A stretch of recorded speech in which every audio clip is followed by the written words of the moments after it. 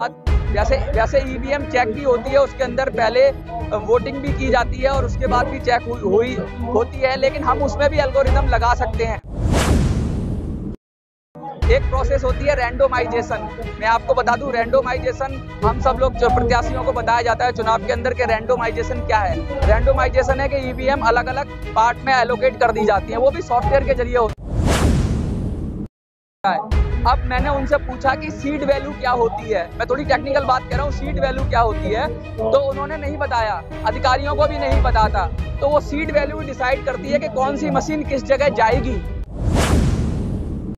और वो seed value हम लोगों को नहीं पता है। हम तो हम लोग पूरी पूरी तरीके से उस सॉफ्टवेयर प्रोग्रामर के भरोसे हैं जिसने सीड वैल्यू डाली। अगर वो सीड वैल्यू का एल्गोरिथम किसी को भी डिस्क्लोज कर देता है तो सब लोगों को पता चल जाएगा कि कौन सी ईवीएम कहाँ जा रही है। नमस्कार, मेरा नाम मनोज स्वराजी है। मैं लक्ष्मी नगर ईस्ट दिल्ली से यहाँ पे इस आंदोलन में शामिल होने के लिए आया हूँ, जो ईवीएम के खिलाफ है। मैं पूर्व एमएलए का प्रत्याशी भी रहा हूँ एमएलए इलेक्शन का, और मैंने एमपी इलेक्शन 2019 में भी पार्टिसिपेट किया है। तो मैं बड़ी नज़दीक से ईवीएम के बारे में जानता हूँ कि ईवीएम की क्या ईवीएम से क्या क्या समस्याएँ हैं और ईवीएम की क्या क्या कमियाँ हैं।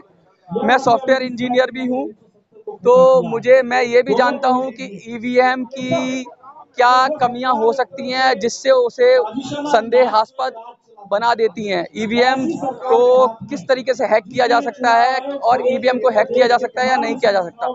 आपको बता दूँ कि बड़े बड़े देश भी अमेरिका से लेकर जो बड़े बड़े देश हैं, वो ईवीएम का इस्तेमाल नहीं करते हैं, वो बैलेट पेपर का इस्तेमाल करते हैं, वो बैलेट पेपर का इस्तेमाल इसलिए करते हैं कि ईवीएम को हैक किया जा सकता है।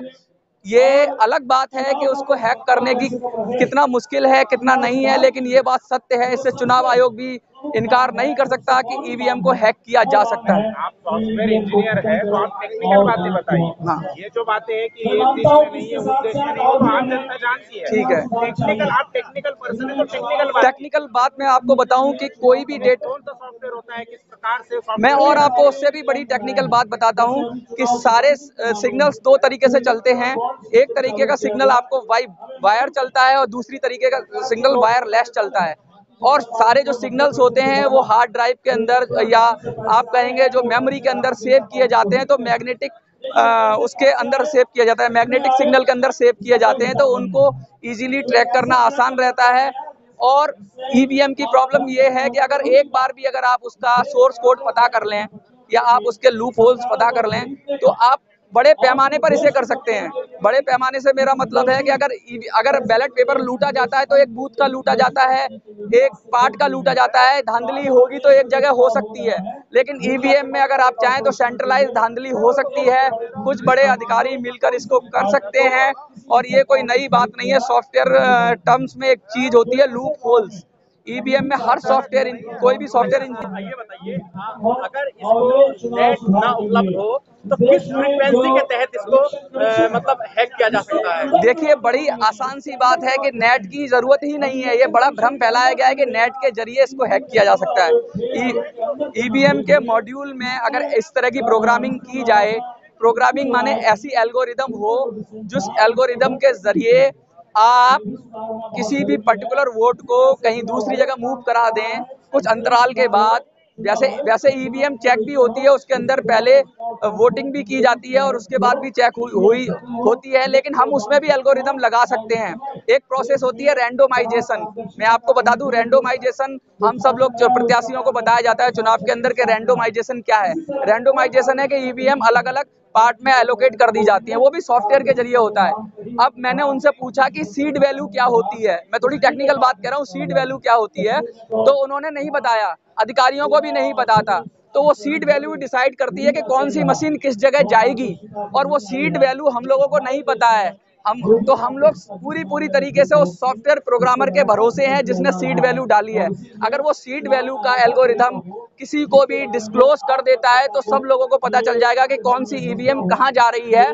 और ये बड़ी टेक्निकल बात है, और ये बड़ी सरल बात है, क्योंकि मैंने भी सॉफ्टवेयर बनाया है जिसमें सीड वैल्यू का इस्तेमाल करके हमने अपने सॉफ्टवेयर बेचे हैं मार्केट के अंदर।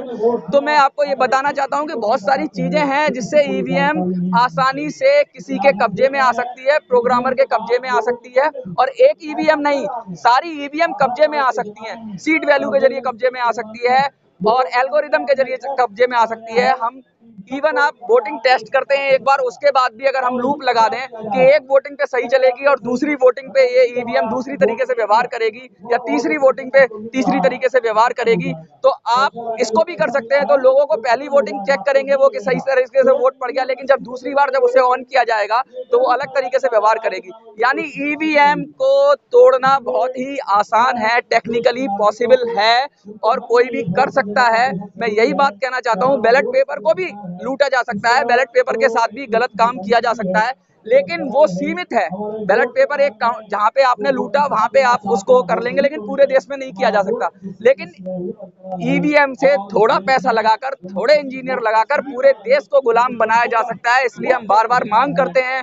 हम पूरी तरीके से इस शिद्दत से आवाज़ उठा रहे हैं कि इसको रोका जाए। प्लीज़ आप इस वीडियो को शेयर करें और लोगों को बताएँ कि ज़्यादा से ज़्यादा ईवीएम के बारे में जानकारी लें। धन्यवाद। पहले तो मैं अपना परिचय दे दूँ, मैं अशोक सुराना, इस दिल्ली से एमपी का चुनाव लड़ा हूँ 2019 और ईवीएम को हमने बड़े नज़दीक से देखा। मेरा ये मानना है कि जब ये पटिशन सुप्रीम कोर्ट में गई तो वहाँ पे सुप्रीम कोर्ट ने ऑर्डर किया कि भाई तुम चुनाव आयोग क्यों नहीं अपनी क्रेडिबिलिटी को जो है कायम रखते?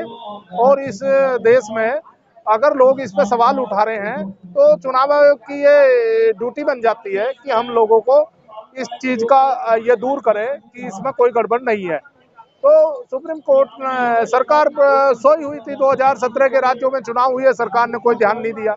उसके बाद वो पिटीशन फिर सुप्रीम कोर्ट में आई। सुप्रीम कोर्ट ने ऑर्डर किया कि भाई तुम ये इसकी चुनाव की क्रेडिबिलिटी जो है, क्यों नहीं बनाना चाहते? तो उन्होंने कही कि जी इस पर साढ़े तीन हज़ार करोड़ रुपए का करीब लगभग खर्च आएगा और इसका हम एक ऑप्शन निकालते हैं वीवीपैट तो वीवीपैट लगाने के लिए हमें फंडिंग की ज़रूरत है। सुप्रीम कोर्ट ने ऑर्डर किया सेंट्रल गवर्नमेंट को। सेंट्रल गवर्नमेंट ने चुनाव आयोग को साढ़े तीन हज़ार करोड़ रुपए रिलीज़ कर दिए। अब जब रिलीज़ कर दिए और आपने वीवीपैट को लगाया तो आज हमारा एक छोटा सा सवाल है और मेरा ये सवाल है, जब वो वीवी पैट मशीन और ईवीएम के साथ आपने जोड़ दी तो उसकी पर्ची और ईवीएम को सारा मिलान कराए गए, उसको रिज़ल्ट को बताया जाए। अब ये चुनाव आयोग कहता जी, इसमें हमें दो दिन लग जाएँगे। अरे, तुम्हें दो दिन लग जाएँगे पूरे देश की जितने भी पुलिस है, फौज है, सारे प्रशासन है, सब उस चुनाव आयोग में लगा रहता तीन महीने, दो महीने।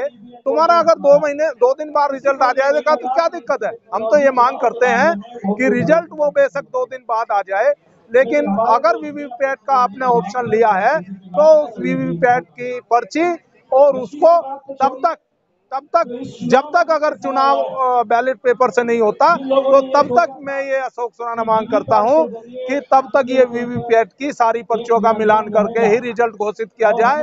वैसे मेरी अपनी पर्सनल मांग इन पार्टियों के साथ पूरे देश में ये मांग उठ रही है कि आप ईवीएम को और वीवीपैट को बैन करो और बैलेट पेपर से चुनाव करो। जय हिंद जय भारत।